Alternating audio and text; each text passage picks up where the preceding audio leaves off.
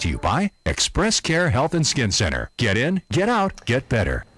We continue our rather lively discussion about strains, sprains, and pulled muscles. And the good doctor, Dr. Jitka Lom from Express Care, is here, and she was answering your questions. Of course, we solicited those on Facebook at kuam.com slash Facebook. So, doctor, we have a bunch of questions. You ready? I'm ready. Okay, here we go. Number one comes to us from the capital village of Hagåtña, and this comes from Leah. And Dr. Lom, she asks, what are shin splints? I get them often when I'm jogging, so how can I prevent them? Great question. Okay, well, the muscles in the front of our legs attach to the bone, to the shins, okay? They kind of go in there like a little fan.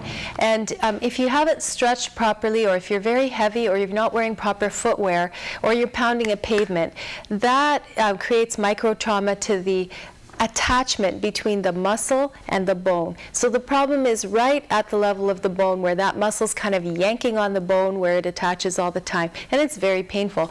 Shin splints can really be uh, disabling for people and, and also interrupt their exercise program. So prior to starting your exercise, you want to stretch. That would be by bending your foot backwards like this and then up like that, side to side, really doing a good long stretch. Um, for shin splints, heat tends to help prior to exercise, so warm up prior to, and then ice afterwards. You can also take a little Motrin. Make sure you're wearing good running shoes, and if you have a, a, a a flat foot, if you notice that you don't have much of an arch in your foot, make sure you wear a little arch support. That will help too. Okay, and as you maybe said at the beginning of that question, the leg bone's connected to the foot bone, and we know how the rest of that song goes. So you know, that's true. I'll, I'll let you, you'll you'll end the episode tonight by singing that one. But next, our question comes to us from down south. This is from Jim from Agat Doctor, and Jim says, "I am an athlete, and I've been scared to go to a chiropractor for my aches and pains from working out. Will chiropractic treatment actually help with my body aches?"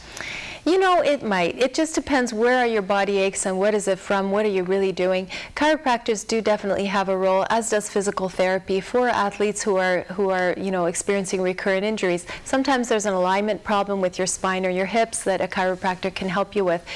But it sounds like you could be doing quite a lot more stretching. Hydration is very important for preventing muscle strains and sprains also.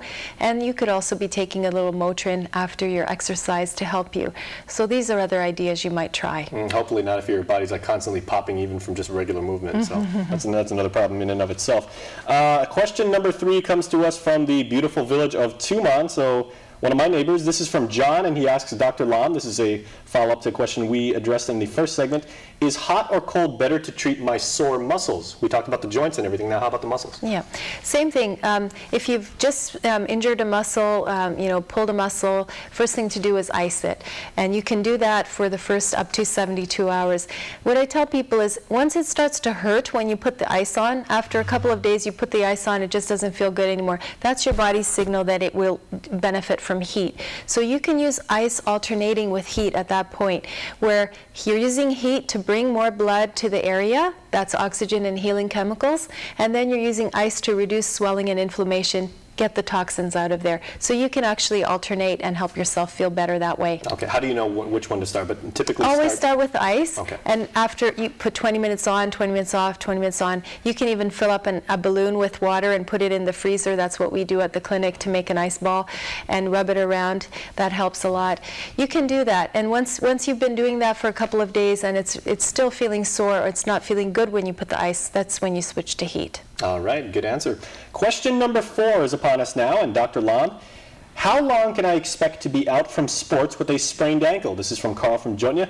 Is there anything I can do to speed up the healing process? So the worst thing for an athlete getting hurt is being on the sideline. Everybody wants to get back into the action as fast. So how do Absolutely. we speed up the healing process? Okay, well, speed up the healing process by doing rice. Rest it, ice it, compress it with an ace wrap or, or a, a, basically a bandage that keeps it tight, keeps it from swelling again, and elevate it. When you elevate your ankle, it's got to be higher than your heart. So you're not just sitting on a, on, a, on a chair with your foot up, you're lying down on the bed with your, with your leg higher than your heart so that you get swelling away from it. And if you, if you really ice really very well and keep your leg up for the first 72 hours, maybe take a little anti-inflammatory like ibuprofen or Motrin or Aleve, that will help you. You've got to stay off it for the first 72 hours. After that, you'll see how you're doing. If it's a mild sprain, you might be okay after two weeks. The biggest mistake people do make is they go back too soon.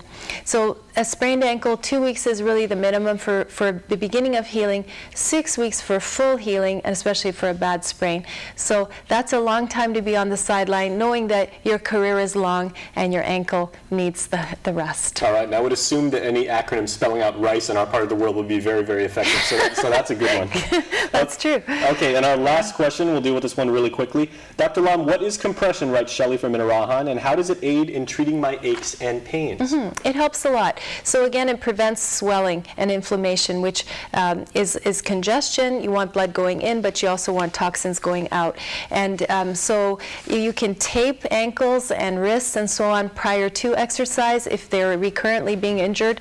Um, you can use an ACE wrap, which is like a compression bandage, which elastic type bandage after an injury.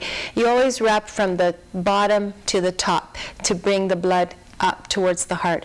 And um, that's what you can do to help reduce inflammation and improve and speed up your healing. Okay, well, just fascinating answers, Dr. Lom. Wish we had more time, but we got to go to commercial break. No Thank problem. you so much. Thank you.